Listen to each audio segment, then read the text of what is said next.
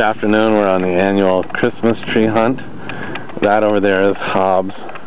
But this year we decided to come on this side of the fence and try, it's called D&D Christmas Tree Farm. It's a smaller operation, but we decided to give him the business.